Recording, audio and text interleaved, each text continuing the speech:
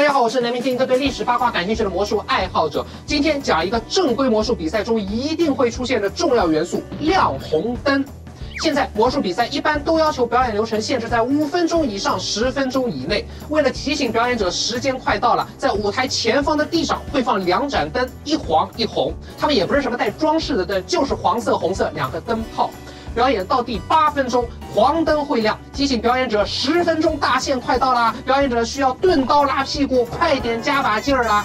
到了第十分钟，红灯亮起，表演彻底结束。如果这时表演者表演还没结束，那他就失去了参赛资格，最后也不会有成绩。在舞台设备条件允许的情况下，红灯一亮起，舞台幕布就会合上，表演者哪怕还要演，也不会让他再演了。事实上，在正规魔术比赛里，表演者没超时，但评委觉得这个表演质量实在太差，严重低于这个比赛水准，也会在表演过程中亮起红灯，拉下幕布。这时，表演者就真的是当街小刀拉屁股，严重社死了。在 FISM 这个魔术界的奥运会里，只要有参赛者被亮红灯了，他对应的参赛国家下一届就减少一个名额。这个后果挺严重的。之前我视频说过，FISM 参赛者可以挂名其他国家报名 FISM，但是一些小国家，比如塞尔维亚，绝对不会让其他国家的魔术师挂名自己国家，就是因为这个原因，怕影响下一届名额啊。以上就是比赛规则。基于这些规则，各种魔术大会曾经搞出过不少故事。最著名的就是西班牙魔术大师伍迪·阿拉贡，非常强大的近景魔术师，同时也报名参赛了2015年意大利里米尼 FISM。当时我们都好奇啊，已经这么大名鼎鼎的人了，居然还报名 FISM 参赛，莫不是要冲击钻拿屁股挑战自我啦？到了他比赛的时候啊，我们看到了他的表演，我也在台下。这参赛节目啊，确实很好看，也很有趣。可惜演着演着超时了，红灯亮了，那一瞬间台下真的啊，全场都是很惋惜的啊的声音。但是规矩就是规矩，这位近景魔术大师失去了那届新人的参赛资格。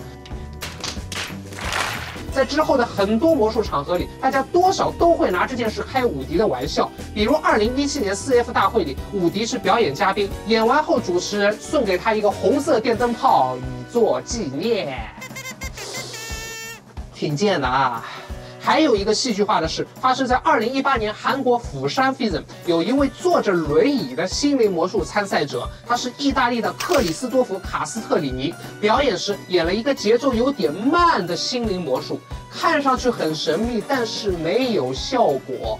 前五分钟都是让观众选择东西的过程，于是评委认为这表演效果太差，亮起了红灯，拉上了幕布。然而就在幕布合上的过程中。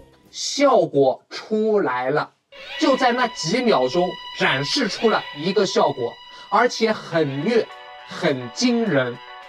从表演流程结构上来看，后面肯定有其他效果，但是幕布已经拉上，没法再表演了，这就成为了一个非常遗憾的表演。但是最后结局还不错，克里斯多夫被评为了那届心灵部的三等奖，也算是有了个交代。不过这种亮红灯的滋味确实不好受，所以有些参赛者想出了一些怪招。在荷兰魔术大会里，曾经有位喜剧部参赛者上台后直接说：“我今天这个魔术要用电灯泡来演。”然后走到前方，笑眯眯的把红黄两个灯泡给拧下来了。于是这位表演者就在灯泡根本亮不起来的情况下演完了全程。这方法真的是练功拉屁股，很贱啊！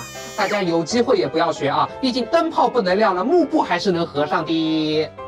关于魔术比赛亮红灯最戏剧性的例子，我觉得发生在二零零九年北京 FISM 的最后一天的最后一位参赛者，啊，名字我就不报了，太丢人了啊！但是他是心灵部选手，表演的是蒙着眼睛猜观众事先掏出的随身物品。